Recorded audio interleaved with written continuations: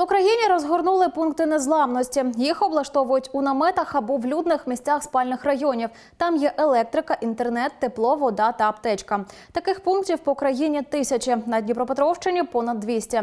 Знайти їх можна на сайті незламність.gov.ua.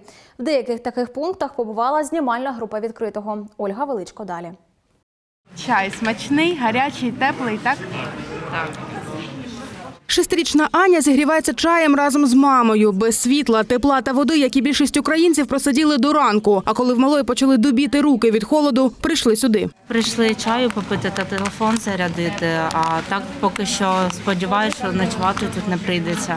Е, Вдома в нас є газ, тому приготувати їжу ми можемо. Це один з пунктів незламності у Слобожанській громаді. Розгорнули його надвечір 23 листопада. Що хочеться найбільше з холоду? гарячого чаю. Я сьогодні не прибраний, не, не купаний. І хотілося б, звичайно, щоб е, настрій підняти. Чай і до чаю, а ще кава, вода. Та найбільший ажіотаж біля розеток. Уже там 20% оставалось, зарядить негде. Вот сюда пришли. Чтобы мать- иметь связок, конечно, потому что вообще ни с кем не свяжешься, сети нет.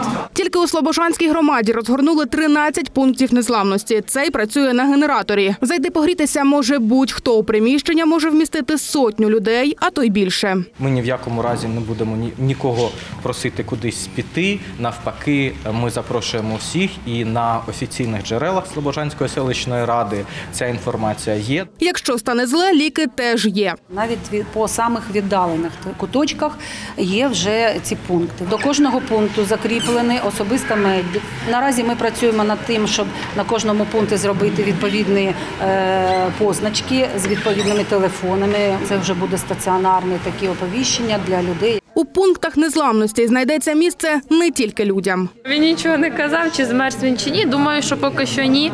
Е, У нього там таке простирадло, його улюблена іграшка. У підгородному пунктів незламності сім, один з найбільших в укритті. Є електроплита, є електричний чайник, передбачені відповідні значить, е, мережі електропостачання, є запас продуктів харчування. І Оце в нас запас медич... медикаментів. А ще технічна та питна вода, простирадла. Є навіть де поспати. Тут одночасно зможуть розміститися дві сотні людей. На випадок повного знеструмлення розгортатимуть польову кухню. Для неї в укритті підготовлені дрова. Тут два відділення для першого блюда і для другого блюда, які розраховані десь 70 е, літрів, значить це перше блюдо.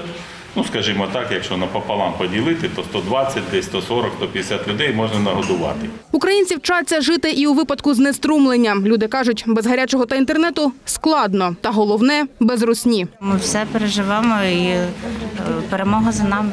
Ольга Величко, Олег Родіонов, Open News, телеканал відкритий.